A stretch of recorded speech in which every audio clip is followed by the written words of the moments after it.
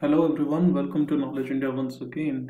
In this tutorial, we are going to see how to launch RDS on AWS. RDS is a Relational Database Service and it is a managed service which AWS gives you. You do not have to uh, worry about installing your database on a machine. You do not have to take care of uh, regular backups, etc. All of such things are managed.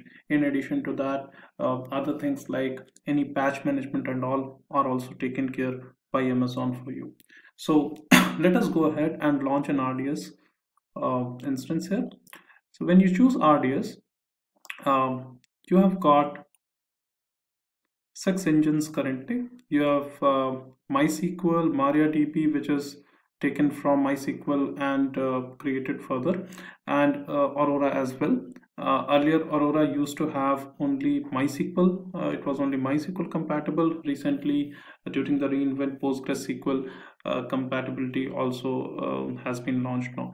You've got Oracle, PostgreSQL and its uh, actual format. You have SQL Server, etc. So we will go ahead and in this tutorial, we are trying to see how to launch RDS and what are some of the best practices, how to launch it in multi-AZ mode. Okay, so let us go ahead and create a MySQL database. Now this is just for recommendation. Uh, for production scenarios, it is recommended that you choose multi-AZ deployment. If you are just doing a development, you can go ahead and do single AZ. What is the difference between two? I'll just explain you that. So I'm going to do a multi-AZ. I'll move forward and you can see uh, in this case, there is just simple general license. You do not pay anything for the license as such. You can choose different world from different version of MySQL. Which one do you want? Go ahead and choose. Let us choose the latest one. And then you can choose the instance type. Uh, as we do, as we choose instance type during EC2 launch, in the same way, you have instance types here as well, which specifies that how much CPU and RAM your uh, database server would have. Okay, so this small one uh, for the demo purpose, I'm just going to choose micro itself. And then do I want to do multi-AZ? I'll just say yes what type of storage do I want? Do I want magnetic or uh, solid state uh, uh, devices? So I'll choose general purpose SSD and just on the recommendation, I'll go ahead and put it as 100 GB. Uh, we need to give an uh, identifier. I'm just going to call it demo DB uh, and a master username and password. So with this username and password, you would be able to do um, any changes you want on this particular DB instance. Just one more step. So you can see we are there on the fourth step and after this your instance comes up, right? So we need to go and choose the VPC in which we want to launch. Now, uh, as we do in case of our uh, EC2 instances, we can go ahead and launch RDS also in our in our own VPC which we have defined. And in most of the scenarios, we keep database in the private subnet because we do not want it to be accessible from internet as such, right? That's why we keep it in the private subnet and only the web server or app server communicates with the RDS.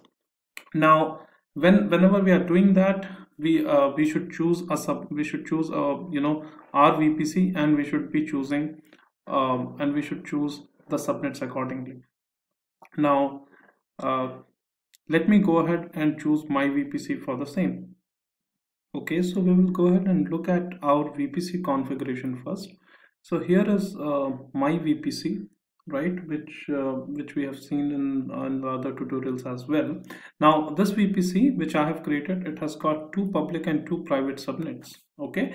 And i'm going to choose one of the private subnets let's say prvc uh, basically because i'm going to do multi-AZ deployment what happens in multi-AZ deployment is that two instances get deployed right? And these two instances should be there in two different uh, in two subnets which are there in two different availability zones. So I will be setting it up in such a manner that my two instances get deployed in PRV-B and PRV-C subnet and both of them are there in two different availability zones, right? That's the funda as we have talked in uh, at other places as well. In order to keep anything highly available, we launch it in two different availability zones. Hence, I'm going to choose two subnets. Both are both of them are private and I'm going to launch my RDS instance. Okay. Now let us come here. I'll go ahead and choose my VPC and then there's something called subnet group now this is an important thing let us uh, let me show you how to create a subnet group I'll just go ahead and open RDS service in a new tab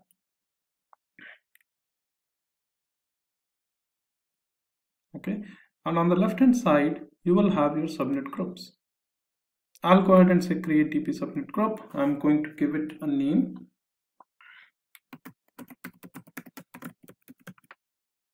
Group private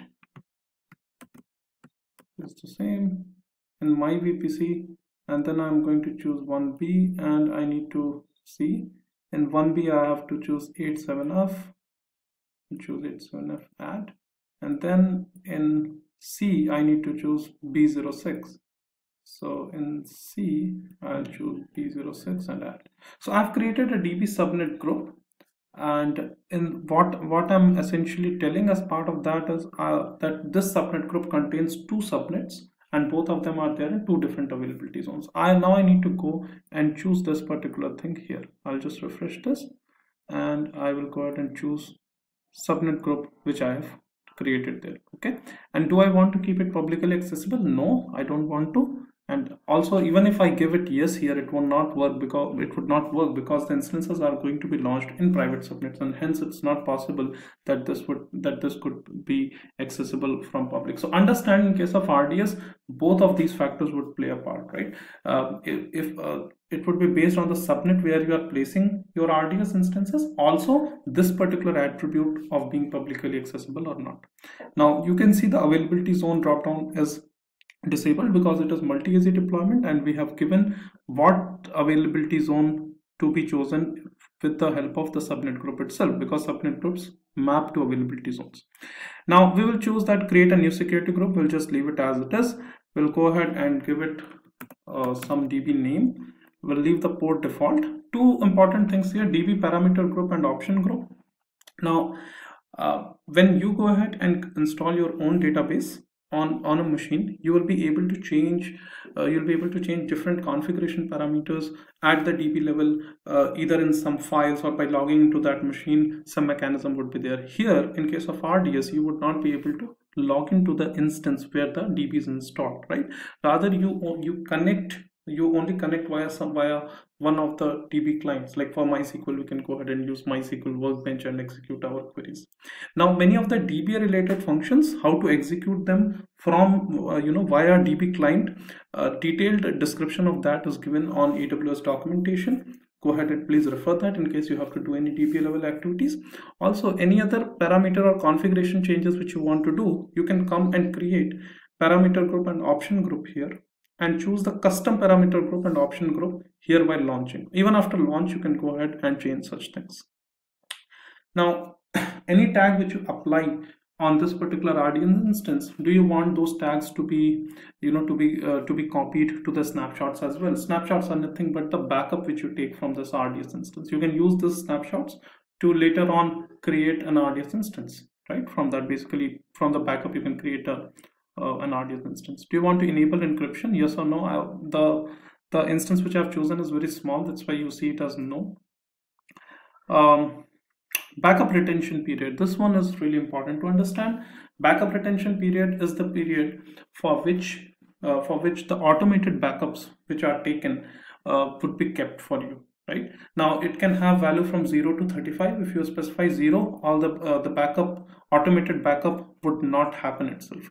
And maximum it can go up to 35 days. Now whatever duration you specify what it what it allows you is that any time from uh, which is like current time minus 5 minutes to that many days in in the past you can restore your db to at any to you know to any point in time. For example if let's say today today is uh, uh, for example if today is 20th jan and you have given your backup retention period as uh, 10 days that means basically from 20th jan to 10th jan any at any point of time uh, you can you know to any point of time you can restore your db and you do not have to do anything. The process of restoration is very simple. You just go ahead choose a db say that you want to restore and specify the time which you want and rest of the things amazon does for you. There is a uh, uh, there's a daily backup which happens in order to facilitate this thing. In addition to that all the logs for of your uh, database are also kept. Now the backup uh, window you can the daily backup window you can go ahead and choose. You can select a window let's say i would ideally give choose a time when when the write read and write activities are least on my instance. So let's say i'll give of something uh, late night. Um, do you want to enable enhanced monitoring on your instance? You can go ahead and choose. You can uh, do it really really granular up to one level one second or you know uh, even whatever 30 seconds or whatever you want you can go ahead and do. Uh, i'm not enabling it for now auto minor version upgrade if there is any uh, minor version upgrade should it be should it be applied automatically? You can go ahead and say yes or no.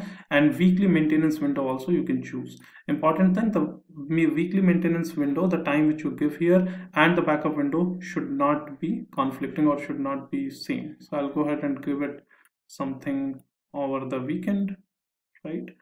Okay probably saturday and I'll just say launch DB instance. So that's all you need to do. And this gives your DB instance. So it is a multi-AZ uh, DB which we are trying to which we are trying to create.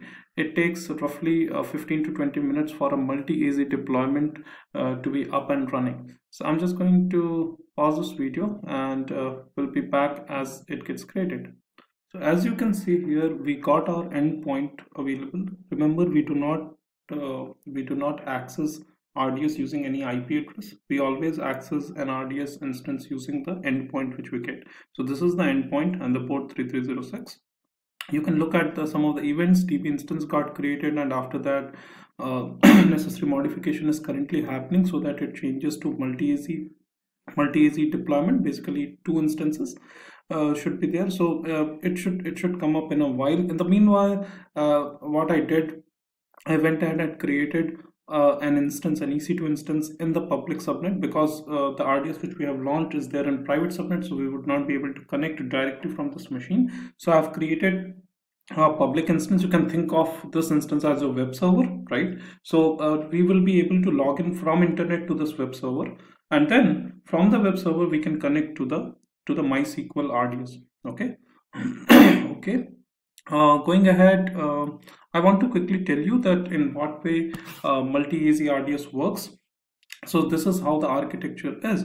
Um, the, uh, I told you that there will be two instances running. One acts as primary, another one as standby. All the requests which come, which you which you send uh, to this particular endpoint, would be would be automatically redirected to the primary all the time, and you get the reply back. Uh, there will be a synchronous replication happening between primary and secondary or standby. In case the primary goes down, all the traffic starts going to standby automatically. And you do not have to do anything for that. It is automatic failover, and Amazon does the necessary thing in order to bring back the instance, uh, you know, which went down as primary. Uh, it will do the needful in order to bring back an instance to uh, to basically replace that, right? So you don't have to do anything there. also, there is a concept of read replica in place now in case you have uh, you have a lot of traffic which is read oriented you can go ahead and create read replicas these are these are separate db instances or separate rds instances which would have asynchronous replication from your master database or from your master rds there will be a separate endpoint in within your application you can direct any read type of traffic right? You can direct that read traffic to this endpoint. So uh, i will show you there is an option to create read replica. For example you select this go to instance actions and say create read replica right? So it would be a completely separate rds instance and it would support only read operations. Okay there will be asynchronous replication between your rds instance and your read replica. Okay so the RDS instance which we launched, uh, it is available to be used now. And meanwhile, this is the uh, EC2 instance which I've launched in the in the public subnet. I went ahead and installed telnet package here so that I can connect. I can basically show you the I can show you the connectivity between between the public instance and the and the RDS. Okay, so let me just go and do this. So I'll I'll pick this endpoint from here and let me paste it. Uh, just go space between this. And if it goes through then we are good. Okay it doesn't go through. The reason is the security group which got created it is just open to a specific IP I'll go ahead and make it anywhere and come here and try to run it again. Sorry. And that's it. It goes through. Great